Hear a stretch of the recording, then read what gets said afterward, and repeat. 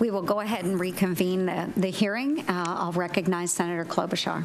Thank you very much. Um, Thank you, Mr. Barr. Thanks to your grandson for the mint. That was very nice.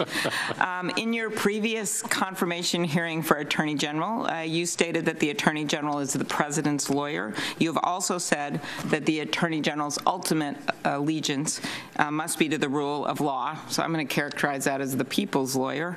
Uh, And there have been times throughout our history, including during Watergate, uh, when the personal interests of the President do not align with the interests of the country. Uh, In those critical moments, is the Attorney General the people's lawyer or the President's lawyer?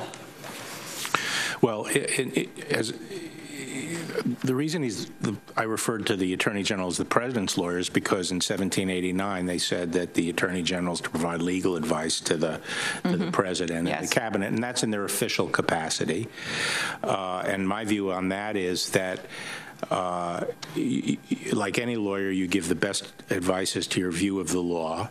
Uh, But uh, if the president determined that he wanted to do something that you thought was still a reasonable uh, construction of the law, even though you might not have decided that way as an Article III judge, just as uh, you support congressional enactments that are uh, Okay. uh, reasonable, you do the same for the president. Um, But how about in a situation like Watergate?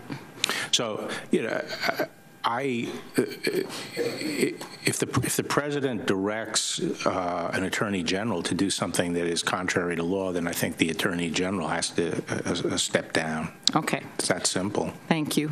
Um, Under the special counsel regs, uh, the special counsel must send a second report to Congress documenting any instances where the AG prohibited the special counsel uh, from taking an action. Will you follow those regulations and send the report to Congress? Yes. Thank you.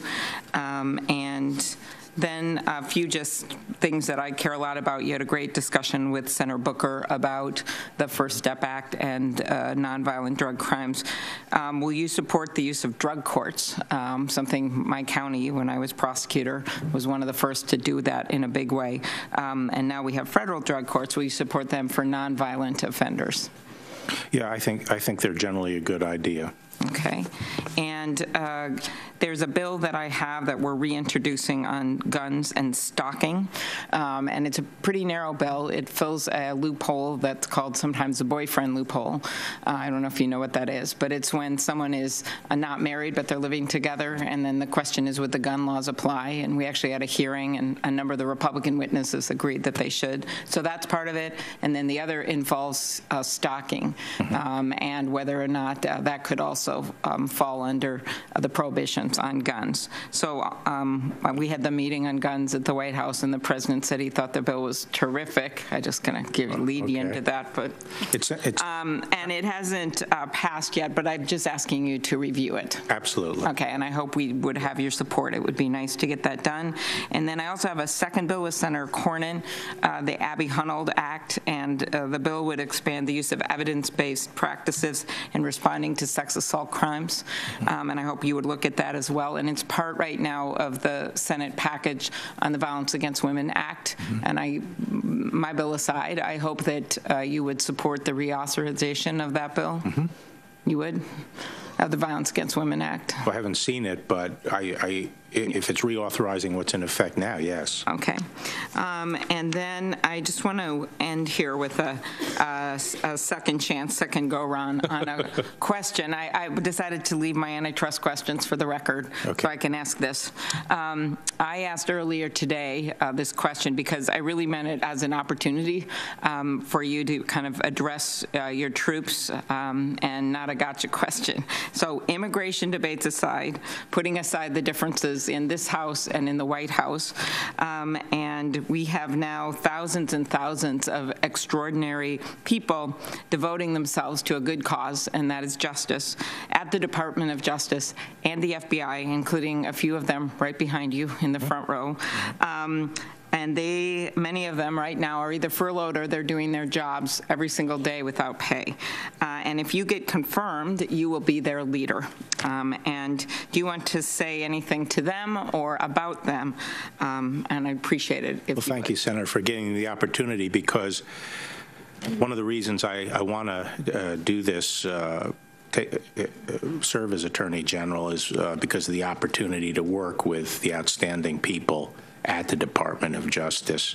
And I think the country can be very proud of them as their of their dedication as they uh, stand their post and continue to perform their mission. Uh, it's it's a great sacrifice for many of them uh, with the uh, paychecks not coming in. So I hope this ends soon. But one of the reasons the department is such a uh, important institution to me and a big part of my life is is the quality of the people there. And I'm looking forward, hopefully, if I'm confirmed, to uh, joining them again. Okay, thank you very much. Thank you. Thank you, Senator Klobuchar. I love the upward mobility on this committee. This is my first committee hearing, and I get to chair. So thank you. I appreciate it very much. Um, I'll go ahead with my second second round of questioning, and there has been a lot of discussion so far about the Mueller investigation, which I do think is is very appropriate. And as I understand it, the underlying premise of that investigation was to determine if there was collusion by um, uh, an American entity or person with the Russians during the 2016 election cycle. Is is that accurate? That's my understanding. Okay, and we do know that there was Russian meddling in our 2016 election cycle. Um, we do know that. And what can the DOJ do in the future to prevent whether it's Russia or other foreign entities from interfering with our elections process? Yes, well, I adverted to in my opening statement is uh, obviously the department is a law enforcement agency, and so we can use our law enforcement tools. And uh, the special counsel has already uh, brought cases against Russian nationals for for their activities, and uh, the current leadership of the department is following suit and. Um, I'd like to build on that experience to sharpen our legal tools to uh, go after uh, uh, Russian nationals, but nationals of any country that are interfering in our elections.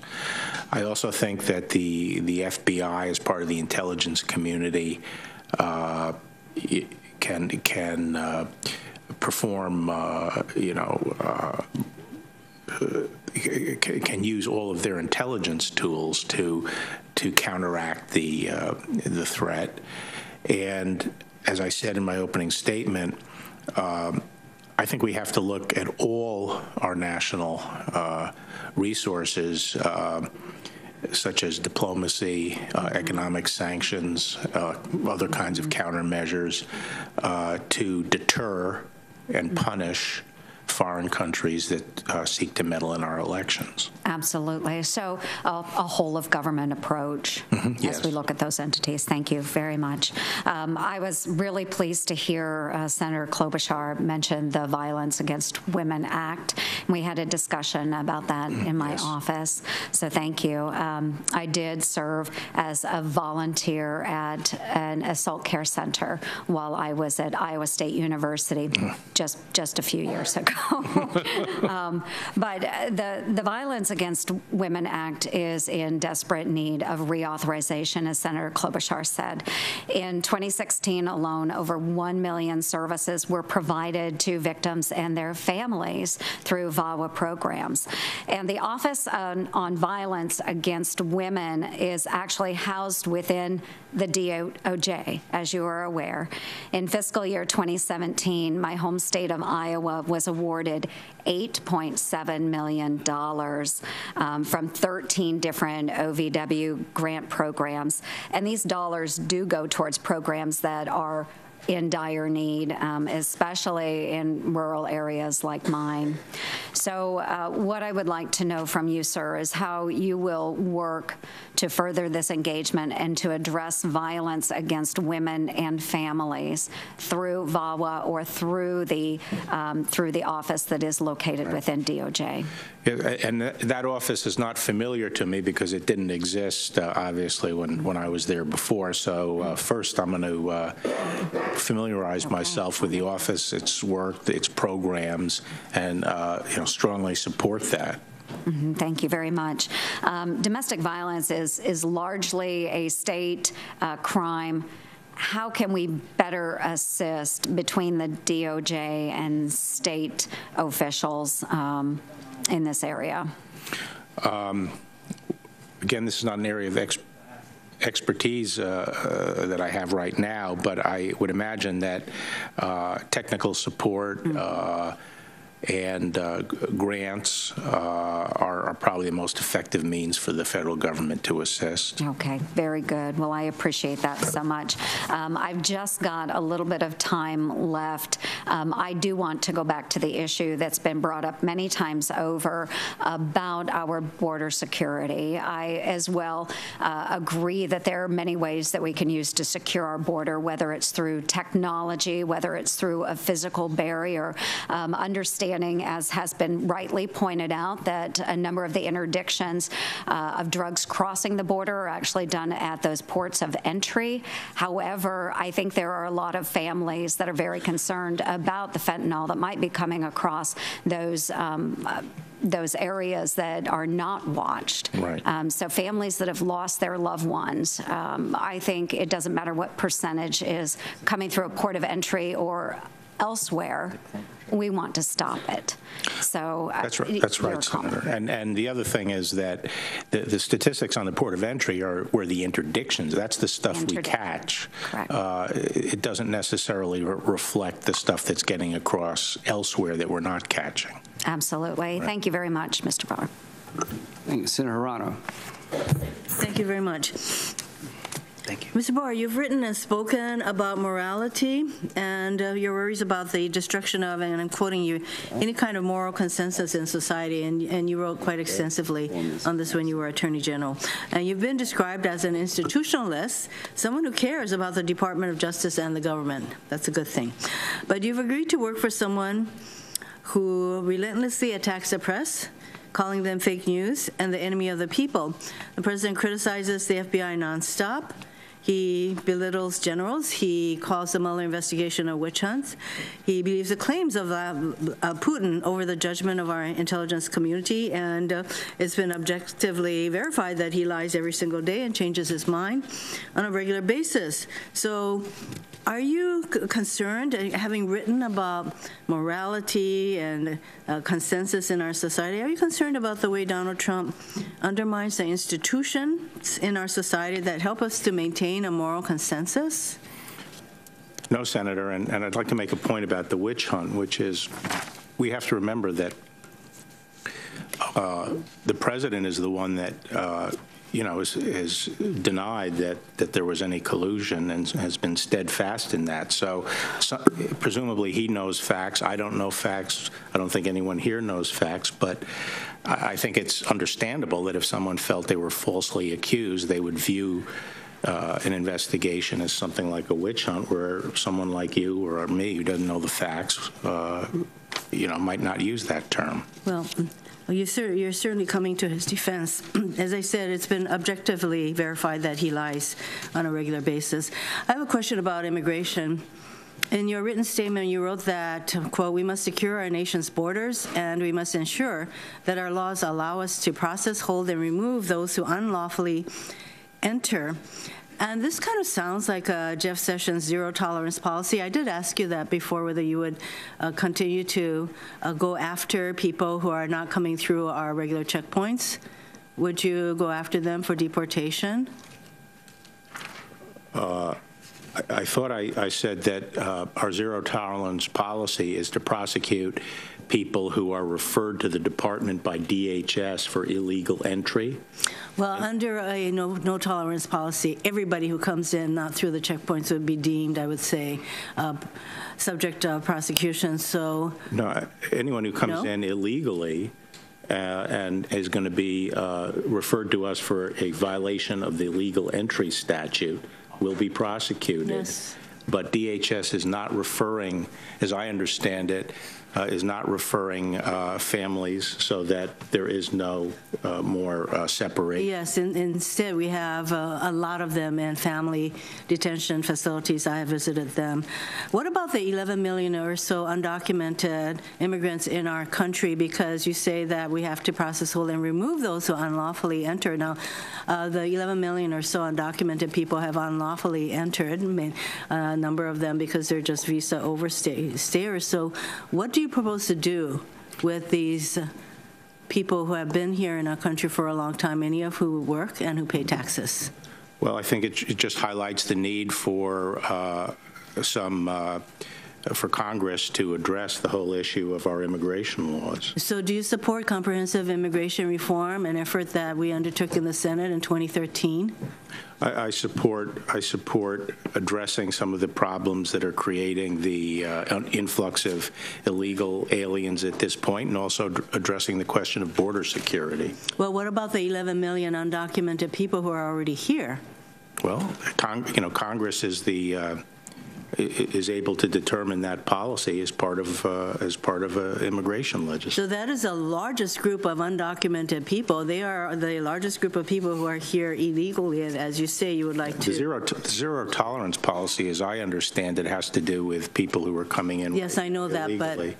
You know, you know that when I talk about the 11 million people, that that they are undocumented. They live in, in the shadows. Many of them do uh, pay uh, taxes, and so that is the largest group that it, that's here. This is why uh, we worked really hard for comprehensive immigration reform. I hope that you support that kind of effort.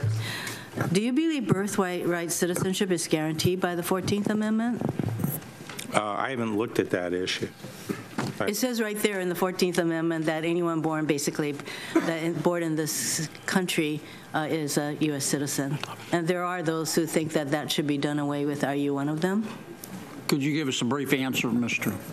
Yeah, I, as I say, uh, I haven't looked at that issue legally. That's the kind of issue I would ask OLC to, to advise me on, as to whether it's uh, something that's appropriate for legislation. I don't, I don't even know the answer to that. It's certainly been interpreted for a long time as uh, saying that people who are born in this country are citizens.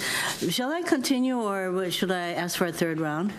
Um, I think the uh, chairman would like to finish today, and I think your time's expired. So I can't ask for a third round? Uh, I, I'm fine. You can have third, fourth, fifth Thank round, you. but I'm not I just have a few more. so I can wait. Okay, Or- why don't we do that? Okay, thank you. Thank you, Senator. I think I'm next, Mr. Barr. Um, This, we talked about this earlier. I, I think we can agree, can we not, that uh, hundreds of thousands, millions of words have been written speculating about uh, what happened at the Department of Justice and the FBI in the 2016 election with respect to uh, the two two-party nominees. Can we agree on that? Yes. Uh, d- d- Can we agree that the American people have a right to know what happened at Justice and the FBI? Yes. Okay. Um, Why don't we just declassify all the documents and show them to the American people and let the American people draw their own conclusions? I'm not in a position to say because I don't have access to the documents and I don't know what it entails. Well, it- it entails the truth, does it not? Yes, but presumably if they're classified, it, you know, there could be collateral consequences, and I'm not in a position to make that judgment. Well, I I mean, is your mind open on that, Mr. Barr, or? I think generally, I don't, I don't understand why uh, properly redacted, those documents have not been uh, shown to the American people. They- They're smart enough to figure it out. I think ultimately, uh, the best policy is to let the light shine. If there have been mistakes made, the best policy is to allow light to shine in and, and, and for people to understand what happened. But sometimes, uh, you know, you have to determine when the right time to do that is. I understand. I- I'm, I'm asking that you seriously consider that, and I'm, I'm talking about the investigations with respect to Secretary Clinton and President Trump. Uh, Clearly, the, the FBI and the Department of Justice, I'm not saying that they either uh, was imprudent to do so. But, but uh, we've seen bits and pieces, and there's been a lot of speculation and innuendo, and people have drawn uh, conclusions based on incomplete facts. And it would seem to me that if for no other reason but the integrity of the FBI and Justice Department, both of which I hold in great, great, in great esteem, uh, we should redact the, the portions that would endanger somebody and show the American people the documents. And I wish you'd con- seriously consider that. I will, Senator. And I, and I, having watched you here today, I think you'll, I think you will. I think you'll give it serious consideration. Yes. Let me ask your opinion on something else. About 10 years ago, uh, we had a we had a problem with our banking system in America, and we had a lot of bankers who made loans to borrowers when the bankers and the borrowers knew the money was not going to be paid back.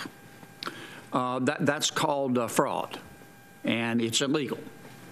And then some of those same bankers and other bankers took took those garbage loans and they packaged them together, packaged them together into security, and they sold them to investors without telling the investors uh, that the underlying loans were were toxic.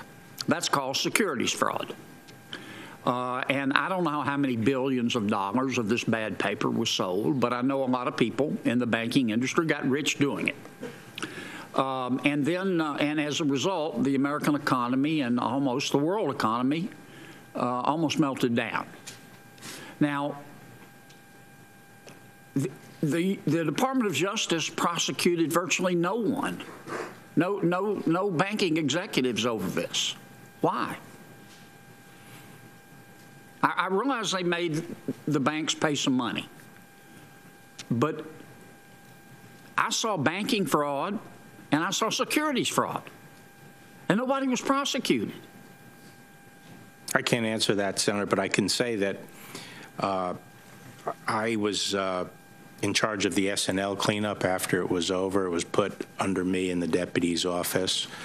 And uh, You folks prosecuted people. we prosecuted a lot of people and very quickly, and we cleaned it up very quickly.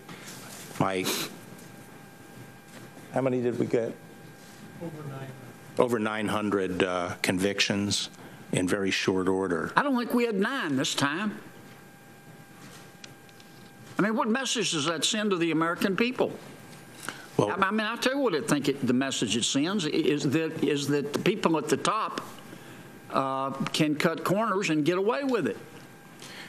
Well, I can say, Senator, is I think my experience with the S&L shows that uh, I'm not afraid of going after fraud I know at the corporate level, and uh, it was one of the most successful, I think, government responses to that kind of whole sector uh, meltdown that there's been. So I'm very proud of uh, the job that was done by the department on that. As you know, we- as we say in Louisiana, you were mean as a mama wasp, and and and and you did the right thing. But I don't think we did the right thing with the banking meltdown. Senator Coons. Thank you, Senator Kennedy. Thank you, uh, Mr. Barr.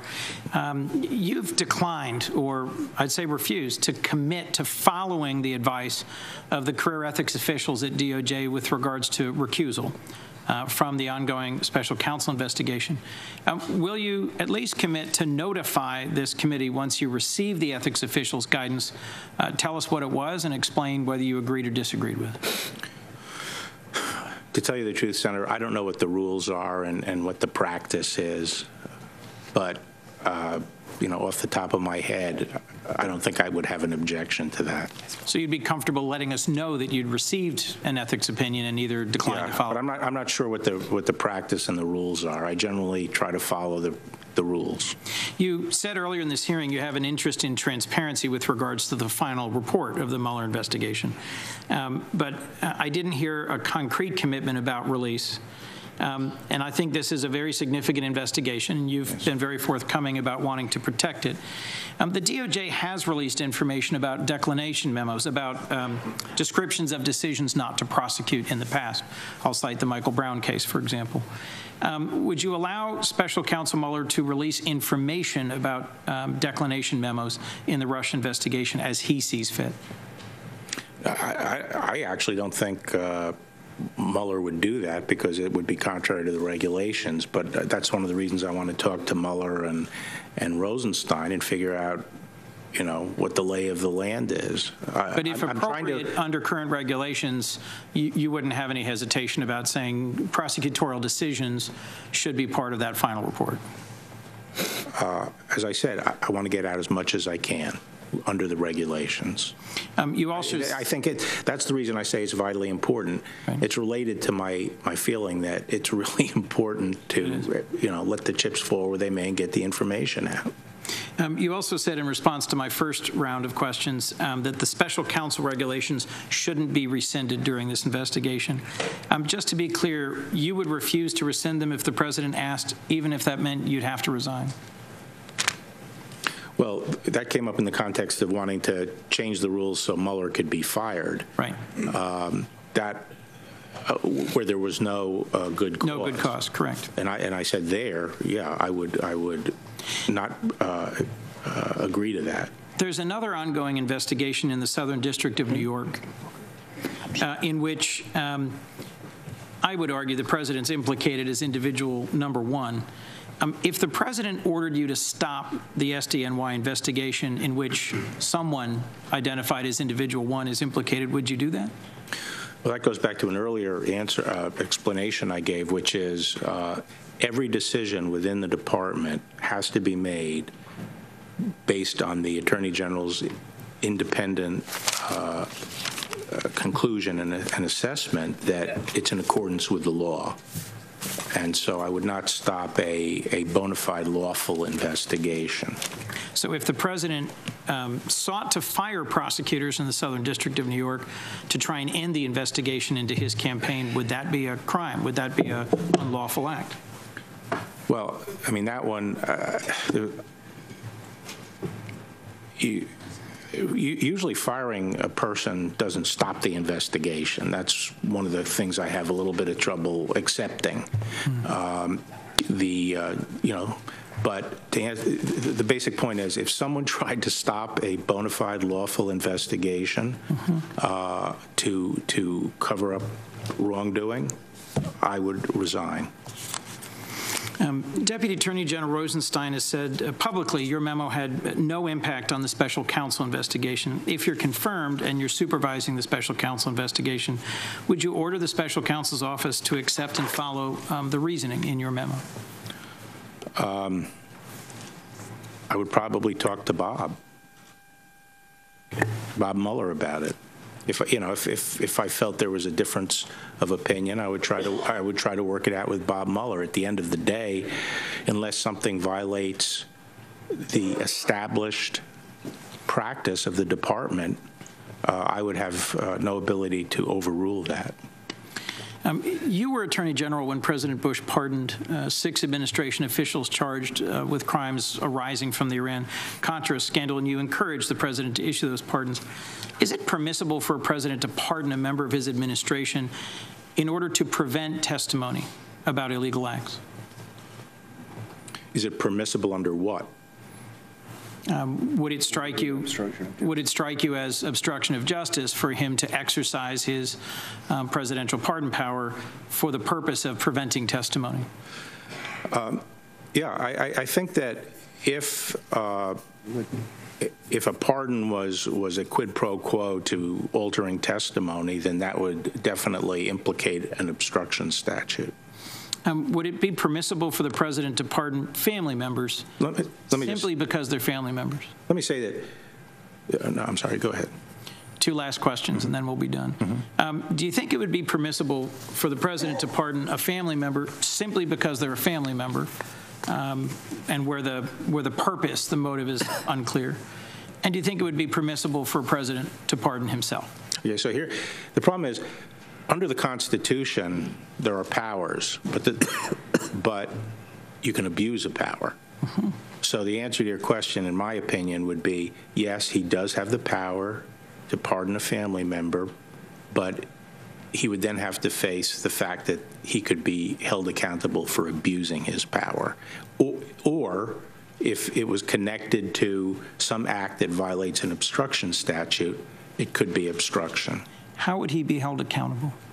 Well, i- i- in the absence of a violation of a statute, which is, as you know, in order to prosecute someone, they have to violate a statute. In the absence of that, uh, you know, then, then he'd be accountable politically. Thank you for your interest today. Senator Blackburn. Thank you, Mr. Chairman, and Mr. Barr, thank you for your patience and for staying with us today. A couple of questions. We've talked about border security and immigration law, and that is something that I want to return to. Uh, I appreciated your comments about going after the problem at the source. And I think that is so vitally important when we talk about the immigration issues and we look at what has happened uh, when you're talking about drug traffickers and uh, human traffickers, uh, the gangs that are coming across that uh, southern border. And I do think that a barrier is there. But one of the um, symptoms, if you will, of an open border policy has been the sanctuary city policy. And that pertains to those that are illegally in the country. And I tell you what, it is just absolutely heartbreaking to me every time I meet with an angel mom and I hear these stories. And then after Officer Singh was murdered, hearing that law enforcement, local law enforcement officer talk about and talk with specificity about how sanctuary policies emboldened those that were illegally in the country. And when you look at this practice of sanctuary city, you know, if we don't do something consistent in this realm, then what is to say you don't develop sanctuary cities for other other violations of the law, whether it's tax law or environmental protection law or traffickers or any other. So uh, talk to me for just a minute about what your connection will be between dealing with the sanctuary cities and then dealing with some of these problems at the source. How do you, you've talked about compartmentalizing and putting lieutenants in charge, and this is an issue that affects every single community because until we stop some of this, we're going to have every state a border state and every town a border town. So, you know, I just think of it as uh, immigration. You have pull factors and push factors. There's there are factors down in in Latin America that are pushing people up, and there are attractions to the United States that are pulling them up. Uh, and one of the, uh, you know, a I think a a pull factor is uh, things like uh, sanctuary cities. The idea that you can come in and not be uh, and, and, get away with flouting our laws and coming in.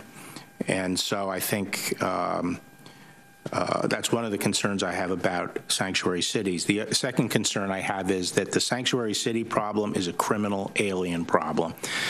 I think a lot of people are under the impression that sanctuary cities are there to protect, you know, the the illegal aliens who were quietly living as productive members of society and paying their taxes, as Senator Hirono said.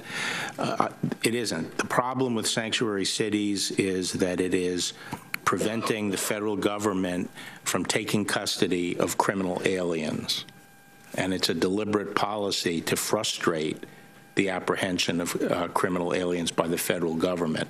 So I don't think those cities should be getting federal. Do you think it would be vi- uh, would it be abided with any other violation of U.S. law?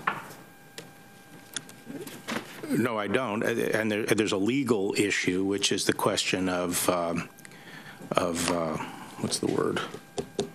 Commandeering. You know, the states argue that that uh, for their law enforcement officers who have custody of a criminal alien to notify the federal government on a timely basis so that they can turn that uh, fugitive essentially over to the federal government, that that's commandeering state apparatus under the Printz case, and therefore it's, uh, uh you know, the federal government shouldn't have that power. That's, that's the issue. And I, I personally am very skeptical of the commandeering argument. That was adopted where the federal government passed gun control legislation and basically were ordering the states to set up the whole uh, background check and everything else. The idea here is simply one law enforcement agency notifying another and holding the person until they can be uh, pick, picked up. So I'm skeptical that that's commandeering, but uh, that's the legal issue. Um, My time is expiring, and I know we need to finish this up, but I do look forward to talking with you again about China and the intellectual property violations, um, the way they go in and re-engineer uh, still uh, from our innovators, and of course, the way they're forcing fentanyl and illicit drugs.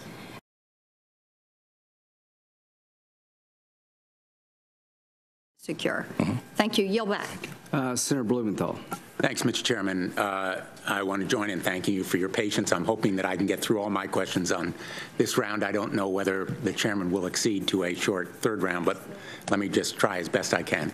Uh, on the pardon issue and accountability, you would agree that the president pardoning someone in return for changing his or her testimony would be an abuse of the pardon power, and the president should be held accountable. And, well, a quid pro quo to change testimony could potentially be obstruction. to- Or for not testifying at all mm-hmm. would be obstruction of justice. The special prosecutor or the prosecutor anywhere else came to you with proof beyond a reasonable doubt of that kind of obstruction or any other crime, talking proof beyond a reasonable doubt, would you approve an indictment of the president? Yeah, I'm, I'm, I- that's the kind of thing I'm not going to, I'm not going to answer off the top of my head. But if we take it out of this context and say, if someone, if someone were, if a prosecutor came and, and showed that there was a quid pro quo by which somebody gives something of value to induce uh, false testimony or It would be a crime. yes. And the question is whether the president could be prosecuted while in office. I happen to believe that he could be, even if the trial were postponed until he is out of office, but because the statute of limitations might run for any other number of reasons, a prosecution would be appropriate. Would you agree? Well, uh, but, uh, you know, for 40 years, the position of the uh, executive branch has been you can't indict a sitting president. Well, it's the tradition based on a couple of OLC opinions, but now it is potentially an imminent, indeed immediate possibility, and I'm asking you for your opinion now, if possible, but if not now, perhaps at some point.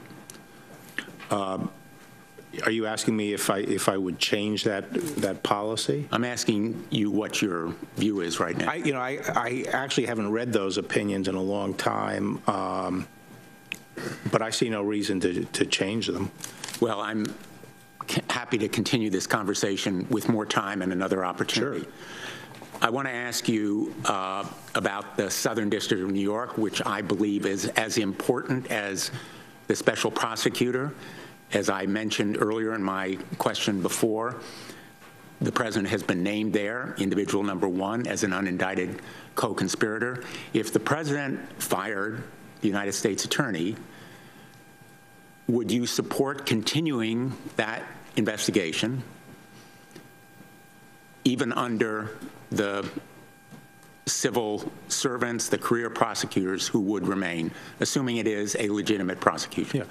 And I, I've tried to say it in a number of different ways. I believe, regardless of who or what outside the department is trying to uh, influence what's going on, every decision within the department relating to enforcement, the Attorney General has to determine independently that th- that it's a lawful action, and, and if there was a lawful bona fide investigation that someone was trying to squelch, I wouldn't tolerate that. Putting it very simply, you would protect that investigation against political interference as hopefully you would do to the. With any investigation in the department.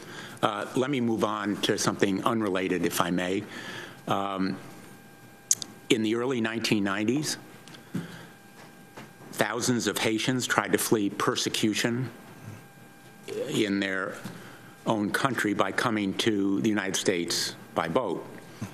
As you will remember, you oversaw, I believe, a program that sent thousands of them, uh, some of them were HIV positive, to Guantanamo Bay. These asylum seekers were kept at Guantanamo Bay for 18 months. A federal judge in the Eastern District of New York described the living conditions in Guantanamo Bay by saying that asylum seekers were forced to live in camps, quote, surrounded by razor barbed wire, end quote, and compelled to, quote, tie plastic garbage bags to the sides of the building to keep the rain out, end quote. In an interview in 2001 at the Miller Center, you uh, defended this program. Uh, Do you have regrets about it now? And am I correct in saying that these asylum seekers first started coming to the United States, it was your position that they should be kept there indefinitely? I really appreciate the opportunity to address this. So in, in 1991, Aristide was overthrown in Ha- Haiti, and there was sort of a mass exodus from Haiti. And uh, up until then, the policy of the United States had been forced. Until that time, had uh, administrations had forcibly returned uh, Haitian uh, uh, asylum seekers and so forth without any kind of process. We, uh, it was a humanitarian problem because a lot of these boats were sinking. It was a 600-mile journey. So the Coast Guard, there are two different issues. One issue is the processing of those who are healthy, and the second issue is the HIV. Uh, in a nutshell, the the processing we started actually giving them you know abbreviated asylum uh, hearings on on the ships. Eventually, we moved some of that to Guantanamo, and we were admitting to the United States 30 percent, which is the highest it's ever been. Uh, I mean, I think before that it was just minuscule. Later, when the Clinton administration adopted our policies, it went down to 5 percent, I am told. But in any event, uh, then it became so overwhelming that we forcibly uh, repatriated the Haitians uh, because we felt that most of them, the conditions were changing. We didn't think that there was uh, a threat in Haiti, and and we forcibly, we were just overwhelmed, and we forcibly uh, sent them back to Haiti. Uh, Meanwhile, uh, HIV was was an exclusion. You could not admit anyone with HIV, and this was adopted by the Senate, and then uh, in the first year of the Clinton administration, the Clinton administration signed a bill that kept it as exclusion. You cannot admit someone with HIV except by case-by-case waiver based on extreme circumstance. So what we did with the HIV people is we first screened them for asylum, because if they couldn't claim asylum, then they wouldn't be admitted. And then um, we started a case-by-case review. I started admitting them on a case-by-case basis uh, where, where cases could be made that there was a particular reason for doing it, like pregnant women and people who had not yet developed full-blown. Um, so uh, I think there was a slowing down of the processing because people felt that the Clinton administration, which at the time was attacking these policies, was going to was going to uh, be more liberal. Uh, and so people thought, well, why should we go through this process with Bush when Clinton's right around the corner? Clinton came in, adopted our policies, and uh, defended them in court, uh, continued forced repatriation, continued the exclusion of HIV. As part of settling a case, he brought in 300, uh, Which 260. didn't necessarily make it right. Well, it was right under the law. Did you favor keeping uh, those Haitians in Guantanamo indefinitely? No. And We were, I think most of the articles at the time said we were sort of in a catch-22. We were trying to process the HIV uh, people on a case-by-case basis, and, and, and in fact, the lawyers who, we, by the way, agreed to have lawyers come down and represent these people in the asylum hearings at Guantanamo, And um, in the book written by them, they say right out, we were making progress. It stopped when the Clinton administration was elected. So uh, we were in this catch-22 on the HIV, and uh, I, I had staff members go down there to Guantanamo, um, and uh, they did not report, you know, inhumane conditions or anything like that. Uh, and, and, and, and that is not mentioned, I don't think, in the, in the book written by the, the lawyers who represented them. So it was a max, mass exodus situation, and um, we did the best we could.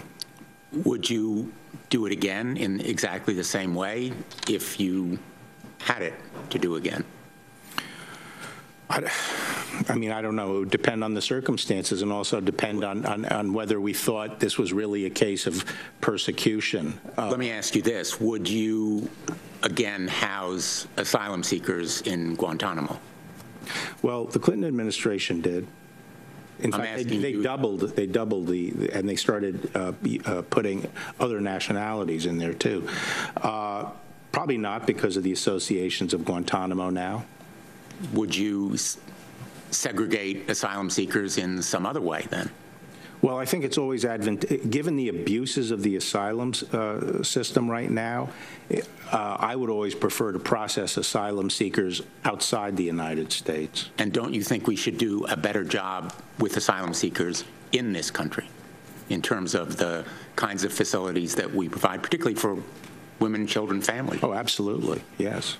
I, I, I think we, if, if we're going to detain families, I, I think those have to be facilities that are safe and appropriate for young children. Thank you, Mr. Chairman. Uh, Senator Lee. Thank you very much, Mr. Chairman. Um, uh, Thanks again to you, Mr. Barr, for being willing to um, answer uh, all these questions today. Um, I want to continue on some of the same theme that uh, Mr. Blumenthal raised a moment ago. He raised a couple of questions regarding immigration, regarding our asylum process. I think it's significant to note here that we have some in our political discourse today who are suggesting that the enforcement of our immigration laws and the enforcement of our border is somehow immoral, that it's somehow wrong. We've had people who, uh, in um, one of the major political parties, multiple candidates be elected, uh, campaigning, among other things, on either eviscerating ICE's power or abolishing the agency altogether. Um, as, as you noted earlier today, uh, you gave a speech back in 1992 in which you were one of the first people I remember uh, using the, the metaphor of, uh, you know, wanting to make sure that our immigrants come to this country through the front door and not through the back door, not through a side window or something to that effect. Um, can you just sort of describe to us uh, why you think it's important that we draw a clear moral distinction uh, between the enforcement of immigration laws, between legal immigration and illegal immigration? Is this a, the the functional equivalent, in other words, of uh, um, the premature removal of a "do not remove" uh, tag on a mattress, or is it something more than that? I think it's something more. I mean, uh, you know, we, we have uh, built a great society here in the United States, and a vast majority, and I, I forgot what the statistic is, but a very large majority of the world lives under our poverty level. And for them, even, you know, being poor in the United States would be a step up. And uh, we have a lot to be grateful and thankful for here. And uh, if it was unrestricted, a lot of people would come here, more than we could possibly accommodate. And And who would that who would that harm first and foremost if we allowed that to happen? Would it be the wealthy who would most immediately be harmed by that? No, it wouldn't. Yeah. And, and so it just seems obvious that you have to have a system of rationing. You have to have a system that makes determinations who can come and when. And Congress, it's Congress is in charge of that. They can make the laws and determine it. Uh, and uh, we, we, I think, have a very expansive system. There are people waiting in line for 10, 15, at least there were when I last looked at it, you know, in the Philippines, for example, for over a decade, waiting patiently, law-abiding people who want to come here and have family here and other things like that. And uh, just to allow people to come crashing in, uh, be told that if you say this, you'll be treated as an asylum, and then you don't have to uh, you don't have to reappear for your hearing or whatever. Uh, it's just an abuse of the system, and it's unfair. I mean, uh, all of us have been standing in lines, long, long lines, and someone just walks up to the front. That's unjust. That's unjust. I also think that without control, you have uh, uh, unsafe conditions and uncontrolled conditions on the border, um, which which create you know serious safety problems for everybody uh, on both sides of the border. So. Uh, it creates uh, uncontrolled uh, access to the country as a national security threat. Um, you know, there are people around the world that are coming into Latin America for the purpose of coming up through the border. So these are, you know, these are the reasons why I think uh, it's important that we enforce, uh, we have an enforceable system of laws, which right now the laws are sorely lacking. Our desire to enforce our border is not unique to us. Um, in fact, our, our, neighbors on the southern side of our border uh, in, in Mexico themselves have pretty strict laws uh, which they enforce and our, our neighbors in Mexico, including the officials in the, in the new Lopez Obrador administration with whom I visited recently, are themselves quite concerned about these uncontrolled waves of migration um, uh, from Guatemala, uh, from Honduras, uh, from El Salvador.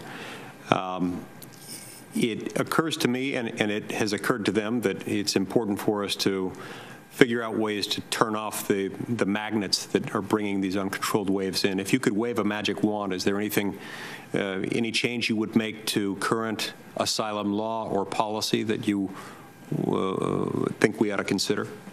I really couldn't say off the top of my head. I I think uh, I had some ideas a while back about uh, you know I'm talking decades ago about how we could change it because this has always been the problem. Uh, but I, you know, I'd have to see exactly where the abuses are coming in and how we could deal with it. Okay, Mr. Chairman, I've got one more question. Uh, could I, sure, absolutely. With, with leave of the chairman, I want to get back very briefly to civil asset um, uh, forfeiture. Um, I referred briefly at the end of our previous exchange to a process whereby some state law enforcement agencies, seeing that they are prohibited from doing that which they would like to do under state law will go to a federal law enforcement agency and agree to make the civil asset forfeiture that they want federal such that it's no longer governed by state law. Sometimes that happens, and the Department of Justice will enter into an equitable sharing arrangement with that state, where the money is sort of, um, I, I don't like to use the word laundered, but it's, it's filtered through the federal system deliberately in an effort to circumvent state law.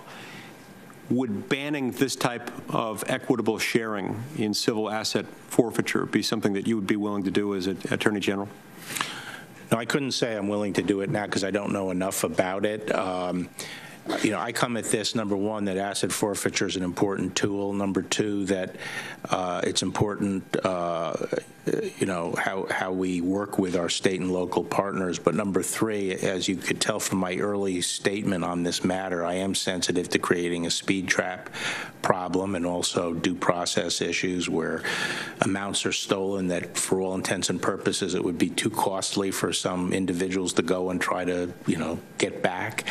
So I'm open to looking at whether there are abuses, what kind of abuses occur, and try to redress those. Okay, uh, uh, thank you. And, and uh, it's, it's, it's my view that um, at least in that circumstance where it's prohibited by state law, uh, state law enforcement agencies shouldn't be able to make themselves whole. They shouldn't be able to seek the blessing of government simply by making it federal. So I hope you'll consider that and, and appreciate your remarks on due process. This really does touch on that, and uh, it's, it's right at the surface of a whole lot of constitutional rights. Thank you very much, sir. Thank you, Mr. Chairman. Thank you. Senator, Senator Harris. I'm sorry, Booker, I apologize. Gosh, give a guy a little power as a chairman, well, he starts to push you around. I tell you what, he's, we doing, he's, doing, better than I am. I, am getting tired. I so thought we were friends. apologies, we are friends. Um, I'm, grateful, sir. Uh, let me jump right in and uh, um, you wrote an article where you described uh, how the law was being used, and this was your your opinion, and maybe it's changed because this was over a decade ago, where you said uh, um, the, the breakdown uh, the breakdown traditional morality by putting on an equal plane conduct that was pre- previously considered immoral. Uh, and you mentioned the homosexual movement, is what you described it, as one of the movements causing an erosion of morality in America. Um, I, I can only gather from this, the article I'm quoting, unless your opinions have changed, that you believe uh, that gay, bisexual, trans, being gay or bisexual, lesbian, or transgender is immoral. Is, do, have, you, have your views changed on that? No, but I don't think I said, I think you were paraphrasing there. Uh, what did I say about the homosexual? Um, I, I'll put in the record the, Okay. the, the, the article that you, and again, I'm quoting your actual language. But. I'll tell you, I'll tell you my views. Um, uh, If, if, if I had been voting on it at the time, I, I, my view uh, uh, is that under the law, under the Constitution as I originally conceived it before it was decided by the Supreme Court, marriage was to be regulated by the states, and if I were, and if it was brought to me, I would have favored uh, uh, marital unions, but, uh, but single sex. Uh, I guess I'm more asking, do you still believe that homosexuality is a, is a movement or, or that, that, that, Well, that somehow that's immoral behavior? What I was getting at is, I, I think uh, there has to be a live and let, in a pluralistic society like ours, there has to be a live and let live attitude. And uh, mutual tolerance, which has to be a two-way street. And my concern, and the rest of the article addresses this, is I am perfectly fine with the law as it is, uh, for example, with gay marriage. Perfectly fine. Uh, But I want accommodation to religion. And what I was concerned about But I guess that's not my concern, sir. We, we live in a country right now where, especially uh, LGBTQ youth, are disproportionately bullied at school. Yes. Uh, many of them hate crimes. Hate crimes, serious hate crimes. Many report missing school because of fear, disproportionately homeless. And I guess what I'm more concerned about is do you believe that laws designed to protect LGBTQ individuals from discrimination contribute to what you described uh, as a breakdown of traditional morality? The No. law, laws, you do not? No. Okay. Um, since But, but I'd like to say what I, I I also believe there has to be accommodation to, to religious community. I, you and I both believe in freedom of religion. I guess what I'm talking about, again, is discrimination. And I know you believe, I know you believe, uh, uh, you don't need to say for me that you believe that firing somebody simply because they're gay is wrong. Totally wrong. I, I, I, I understand that you believe that. But do you believe the right to not be fired just because of your sexual orientation should be something that should be protected under civil rights law? I'm sorry, you're right not to be fired? Sir, right In other now- words, are you saying that it should be part of, not- uh, tar- part of Title VII? To- I, I'm saying that right now in the United States of America, in the majority of our states, someone can be fired. They could post their wedding pictures on their uh, on their Facebook page and be fired the next day just because they're gay. I think that's wrong. You think that's wrong? Yes. And and and so you would believe that efforts uh, by the Department of Justice to protect LGBT kid, kids or, or individuals from harassment, from hate crimes, uh, and efforts to protect the civil rights of LGBTQ uh, uh, Americans. I support that. You support that? Okay, And that's why. I said in the beginning, I, I am very uh, concerned about the increase in hate crime. Oh, I was really happy about that. You- You said you recognize that violence based on sexual orientation is not acceptable and that you will work to combat that. I was really happy to read that in your written testimony and hear it again. Um, will you recognize that then that there's a place for the Department of Justice, which is supposed to protect the civil rights of Americans, of vulnerable communities, that there's a place for the Department of Justice to protect the civil rights of LGBT Americans by banning discrimination based on sexual orientation or gender identity? if Congress passes such a law, I, you know, I I think the litigation going on now on Title VII is what the 1964 Act actually contemplated. But personally, I think, uh, So, so you, I'm sorry, you do believe the 1964 Act contemplated protecting individuals from having, being discriminated upon by the no, base? I think it it was male-female that they were talking about uh, when they said sex in, in the 64 Act. So protecting someone's basic rights to be free from discrimination because of sexual harassment is not uh, something that the Department of Justice should be protecting? No. I'm saying Congress passes the law, the Justice Department enforces the law. I think the 64 Act on its face, uh, and this is what's being litigated, what does it cover? I think for like three or four decades, the LGBT community was trying to amend the law. But the Obama administration, as you know, the Justice Department and the Obama administration was working to protect LGBTQ kids from discrimination. Are those practices that you would be uh, be uh, uh, pursuing as well? I don't, I don't know what you're referring to. One- I one- am all for, I, you know, I don't, I'm against discrimination against anyone because of some status like, uh, the- the- you know, their gender or their, or or I, I understand really briefly. sexual orientation or, or whatever. Thank you. With the indulgence of the chair, just very briefly, the Department of Justice reversed the federal government's position in Veasey versus Perry after arguing that almost six years uh, that the Texas voter ID law intentionally discriminated against minorities. Uh, even the Fifth Circuit of Appeal, uh, one of the more conservative circuits, ruled that the Texas law discriminated against minority voters. Uh, you, you said very strongly that voting, uh, the right to vote is paramount. Um, and I'm, I'm wondering if confirmed, will you bring the Department of Justice back on uh, into the uh, uh, uh, to the mode of defending the right to vote um, uh, because they've now pulled out of a lot of cases that were that were uh, affirming uh, people's access to, uh, for the right to vote. I will vigorously enforce the Voting Rights Act. Okay, and then I'll, I'll just say, uh, uh, Mr. Chairman, uh, I just want to say to, to you, please, I hope we get a chance to talk more. I imagine this is our, our, our second round, uh, and I'm grateful for you today uh, answering my questions. Thank you, sir. Now, Senator Harris. Thank you. Um, So you were the uh, Attorney General, obviously, under President George H.W. Bush, and um, in the Reagan White House, a senior policy advisor. So I'm going to assume that you are familiar with the Presidential Records Act. And my question is, uh, in the context of a Washington Post report that the president took possession of an interpreter's notes documenting the president's meeting with the Russian President Putin in 2017. And the question then is, does that violate the Presidential Records Act?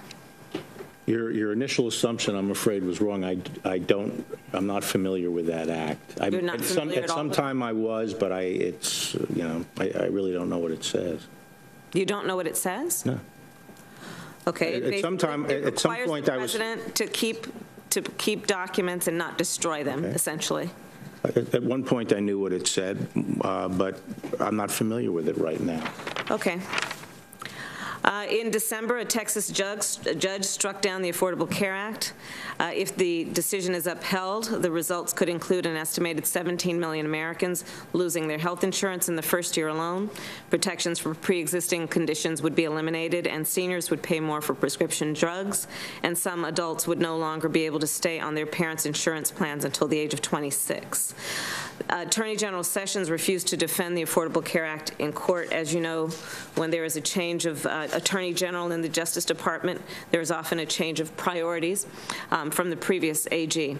So in the context of also understanding that many lawyers, including conservative legal scholars, have criticized the Texas decision, including Philip Klein of the Washington Examiner, would you reverse the Justice Department's position and defend the Affordable Care Act in court? That is a case that I, uh, if I'm confirmed, would If want. confirmed. If I'm confirmed, I would like to review the department's position on that case. Are you open to reconsidering the, the position? Yes.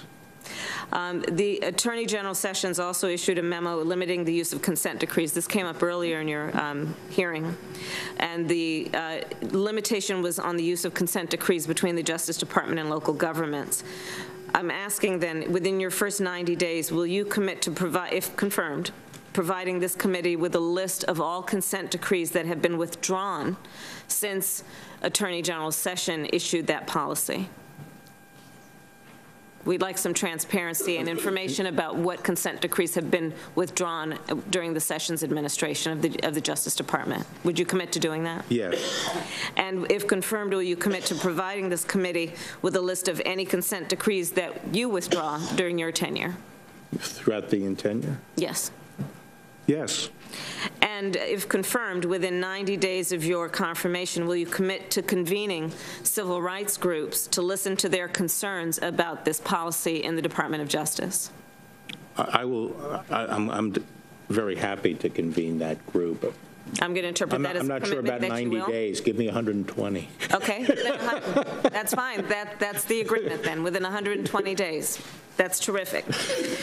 Um, And then the Voting Rights Act, you're familiar, of course, with that, I'm going to assume, yes? Yes. Okay, and um, under the act, the record of discriminatory voting practices, um, those states that have a record of such practices had to obtain federal approval in order to change their voting laws, as you know. Yes. And then came the 2013 Shelby decision, uh, where the court by a five to four vote pretty much gutted the act, ending the federal pre-approval requirement. So within weeks of that ruling, you are probably aware that legislators in North Carolina rushed through a laundry list of voting requirements. A federal appeals court later held those North Carolina laws to be intentionally discriminatory against African-American voters, targeting them, quote, with almost surgical precision. Do you believe there are currently laws on the books that target African Americans or have the effect of discouraging African Americans from voting in our country? Well, uh, it sounds like those laws do. Sure. So I'm. Do you have any concern about that there may be other laws that, that have the same effect? I would be concerned if there are other laws, then, and that's why I would vigorously enforce Section 2 of the Voting Rights Act.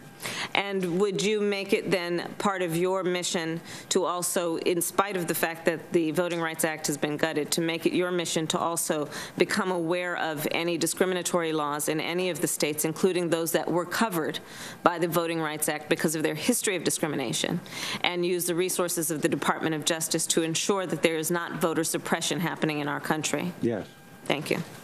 My time's up. I appreciate it. It's very efficient. I think that's the end of the two rounds that I promised the committee we would do. I think Senator Hirono, you have a few more questions? Yes, thank you very much, and I thank Senator Kennedy as he was sitting in the chair to give me permission to uh, go a little bit further. So I'll be as brief as I can. Uh, Last year, the Justice Department in Zarda versus Altitude Express, it was a Second Circuit case, argued that Title VII, filed an amicus brief, and argued that Title VII of the Civil Rights Act of 64 did not prohibit discrimination on employment on the basis of sexual orientation. So both the Second and the Seventh Circuits have um, rejected the department's argument. So if uh, confirmed, would you appeal the, this decision to the Supreme Court? I thought, I think, uh, I think it is going up to the Supreme Court. So is the department, is uh, DOJ going to continue to argue that Title VII does not protect discrimination, employment discrimination? You know, it's pending litigation, and, and I haven't, you know, I haven't gotten in to review the, de- the department's litigation position, but uh, the matter will be decided by the Supreme Court. Well, I take it that, that sounds like a yes to me, that the department will continue to push the argument that has been um, Well, it's not just the department's argument, it's been sort of common understanding for almost 40 years. So employment discrimination on the basis of sex is something that, that um, it would be okay by you if that's No, not it's, no, that's not at all what I'm saying. I'm saying the question is the interpretation of a statute passed in 1964. I, as I've already said, I personally, as a matter of, you know, my own personal feelings, think that there should be laws that uh, prohibit discrimination against uh, gay people. So perhaps, uh, should you be confirmed that you will review the department's position on uh, making the argument, continuing to put forth the argument that uh, Title VII does not prohibit employment discrimination? Would you? No, because there's a difference between law and policy. The question in law is what was, what, I will enforce the laws as passed by Congress. I'm not going to amend them. I'm not going to undercut them. Uh, I'm not going to try to work my way around them and evade them. Well, the Evade- DOJ also doesn't have to file an amicus brief um, either. Let me move on then.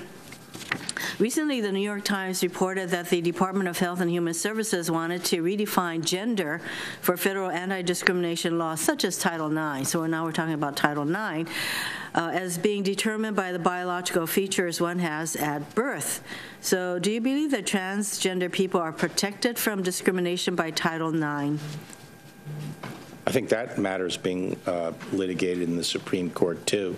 do you know what the Justice Department's position is on whether, well, if, if they're going to go along with what the Health and Human Services Department wants, then uh, the Justice Department's position is that Title IX does not protect discrimination on the basis of uh, transgender. I I do not know what the uh, position is, This is probably another one that I would ask you to review.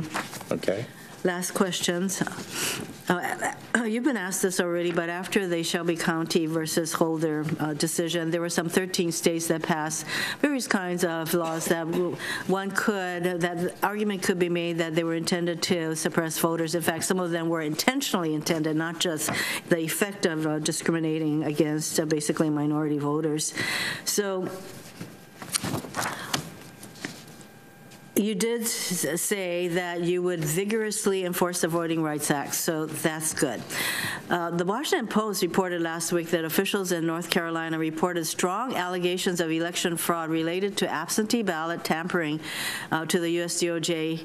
Uh, This, we're talking about election fraud, not voter fraud, but the Justice Department did not appear to take any action, and now that that congressional race is still being decided. But one thing the Department of Justice did manage to do in North Carolina was to request that North Carolina turn over millions of voting records to Immigration and Customs Enforcement, ICE, apparently as part of a needle in the haystack effort to prosecute voting by non-citizens.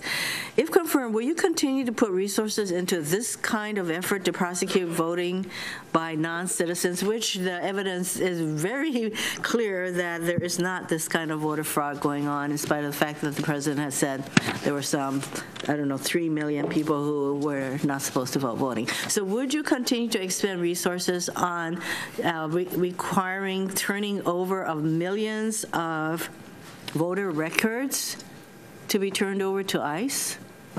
Well, I don't know what the predicate, I don't know what the predicate for looking into that is. Oh, it was to get get at voter fraud, which uh, according to the president is going on in a massive way, which it is not. Well, yeah, but the predicate, I don't know what information triggered that review, but, uh, you know, when I go into the department, I'll be able to discern whether or not that's a bona fide investigation, and if it is, I'm not going to stop it. What is it, what if the trigger was that there's vast, uh, massive voter fraud going on, which is not the, the fa- factual, it's not a factual basis. I would hope that as, uh, as Attorney General, you would make decisions based on facts, not on some kind of ideological need to go after people.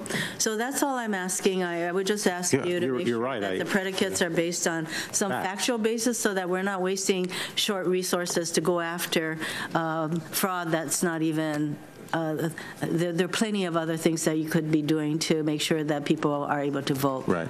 Thank you. Okay, um, can you make it a few more minutes? Sure. We're, okay, I- I know comfort breaks are necessary. Uh, So what I'd like to do, Senator Kennedy has one question, right? Senator Blumenthal has a couple, then we're going to wrap it up. If you had 10 minutes to live, you'd want to live in this committee. 10 minutes is a long time. Senator Kennedy. General, I'm still confused about one point. Let's assume that Mr. Mueller, at some point, hopefully soon, writes a report, and that report will be given to you. What happens next under the protocol rules and regulations at Justice? Well, under the current rules, uh, that report is supposed to be confidential and treated as, uh, you know, the the prosecution and de- and uh, declination documents in an in an ordinary, any other criminal case. And then uh, the Attorney General, as I understand the rules, would re- would report to Congress about the conclusion of the uh, investigation, and I believe there may be discretion there about what the Attorney General can put in that report. So you would make a report to Congress Yes, based on the report you've received? yes. Okay, thank you. All right, uh, a couple of questions by Senator Blumenthal. We're going to wrap it up. Thank you for your patience and your perseverance, and uh, I appreciate, let me say, your willingness to come meet with me, and so I'm going to cut short some of my questions. Uh, And also, I hope that you will come back regularly to the committee. Obviously, the chairman is the one who determines when and whether we have witnesses, but uh, the It comes every 30 years. 27. 27. Uh, You were asked by Senator Leahy about your statement that the Uranium One deal was more deserving of investigation than collusion with Russia. Uh, You answered that you were not specifically referring to the, referencing the Uranium One deal, but just generally uh, referring to matters uh, the U.S. Attorney might be investigating. I, I, I- I can't remember the exact context of, of that. There was a series of questions a reporter was asking, and then the article sort of put them in a sequence that I, you know, didn't necessarily show my, my thoughts. Well, the New York Times just published in a tweet the email that you sent them, and you did reference Uranium One specifically. I'll ask that it be Okay, part of the record. if- Without objection. uh, And So the- what, what did I say? The tweet uh, from Peter Baker of the New York Times says, questions have been raised about what Bill Barr told us for a story in 2017. Here is his full email from then responding to our request for comment. We're grateful he replied and hope this clarifies any confusion. And the email from you says, uh, and I will take the the relevant Yeah. part of the sentence, quote, "I have long believed that the predicate for investigating the uranium deal, as well as the foundation, is far stronger than any basis for investigating so-called collusion." What- And what came before that? I'll read the full email uh, with the permission of Yes, the chairman. Uh, Peter, got your text. There is nothing inherently wrong about a president calling for an investigation. Although an investigation shouldn't be launched just because a president wants it, the ultimate question is whether the matter warrants investigation. And I have long believed that the predicate for investigating the uranium deal, as well as the foundation, is far stronger than any basis for investigating so-called collusion. Likewise, the basis for investigating various national security activities carried out during the election, as Senator Grassley has been attempting to do. To the extent it is not pursuing these matters, the department is abdicating its responsibility. Signed, Bill Barr. Right. So the abdicating responsibility was, I was actually talking about the national security stuff, uh, and that was my primary concern. I, I- you know, the, the uranium one deal, the sort of pay-for-play thing, uh, I, I think at that point, I may be wrong on this, but I think uh, it was, it was included in, in Huber's portfolio to review, suggesting that there was something to look at there. But uh, the point I was really trying to get at was that uh, there was a feeling, I think a strong feeling among many people that it appeared, at least on the outside, that there were double standards being applied. And I thought it was important that uh, the same standard for investigation be used for all matters. But I have no, you know, specific uh, information about Uranium One that would uh, say that it, it, it has not been handled appropriately. Well, that's really my question. What was the factual basis for your saying that the Uranium One deal was more deserving of investigation than Russian collusion, given what you have I think that very that- articulately described as the potential threat to the national security of the United States from Russian interference in our election? Yeah, I think at that time there was a lot of uh, articles appearing about it. I think maybe Congressman Goodlatte had written a letter about it. Uh, so there was smoke around the issue, as there's been smoke around a number of issues that have been investigated. But uh, I was using it really as an example of the kinds of things that were floating around that some people felt had to be looked in as well, uh, looked at So as the factual basis was whatever that smoke was. Well, the public information that a lot of opinions are being formed. And how about as to the foundation? What was the basis of your claim that the foundation was more deserving of investigation than Russian collusion? Well, the, the founda, you know, I, I- I didn't necessarily think the foundation was, um, should be criminally investigated, but I, I, uh, Well, you did say that in the email. I did, criminally? Well, let me read that part of the sentence again. I have long believed that the predicate for investigating the uranium deal, as well as the foundation, is far stronger than any basis for investigating Yeah. so-called collusion. Uh, You were referring to the criminal investigation, Yeah. as I read it. Well, the foundation, I always uh, wondered about, uh, it it was the kind of thing that I think should have been looked at from a tax standpoint, and whether it was complying with the foundation rules, the way a corporate foundation is. Uh, And and I thought there were some things there that, you know, merited some attention. But I, I wasn't thinking of it in terms of a criminal investigation of the foundation. Uh, I'd like to, you know, I, Attorney General Mukasey said something that I uh, agree with. He said, it would be like a banana republic putting political opponents in jail for offenses committed in a political setting, even if they are criminal offenses.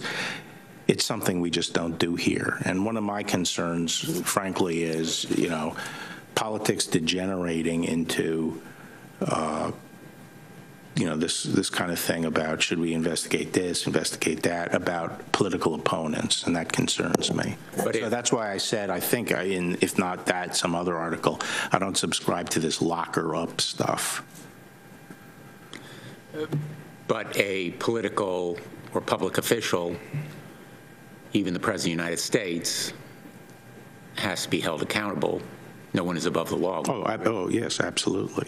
And just one more question. Um, You referred earlier in response to a question from Senator Feinstein about the emoluments issue.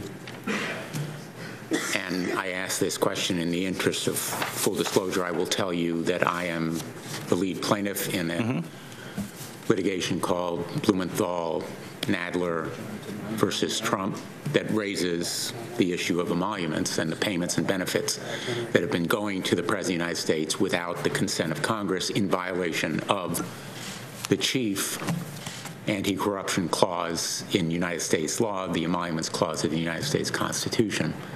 So we claim. Uh, You said that your understanding of emoluments was that it was, that it pertained only to stipends.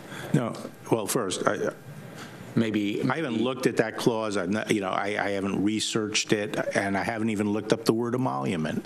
But uh, all I said is just colloquially, off the top of my head, that's what I always thought the word So meant. you're not necessarily disputing the conclusion of at least one district court, perhaps others, that emoluments relates to payments and benefits much broader than just a stipend. You were speaking only of your colloquial understanding. Yeah, I mean, my colloquial understanding is that emoluments doesn't refer to exchange of services and stuff like Which that, is- commercial transactions. Which is not necessarily the understanding of the founders and framers of the Constitution. We'll see. Well, it's a good way to end. Uh, We'll see.